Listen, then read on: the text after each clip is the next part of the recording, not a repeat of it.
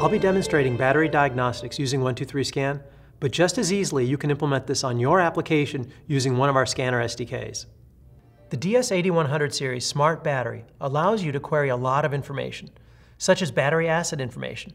The date of manufacture is always a field that people are requesting. In addition, we can give you the model number of the battery and the full design capacity. That means when we ship the battery, it will always be at least 2450 milliamp hours strong. In addition, we also let you get the battery life statistics.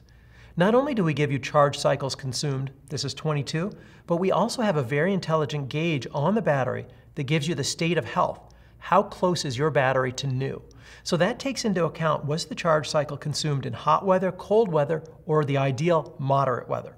So in this case, it's 100%, it is a brand new battery. We also tell you what's the full charge capacity of your battery.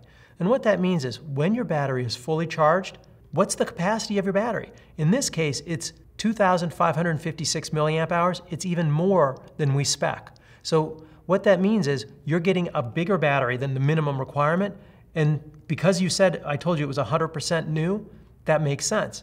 The battery is currently 94% charged.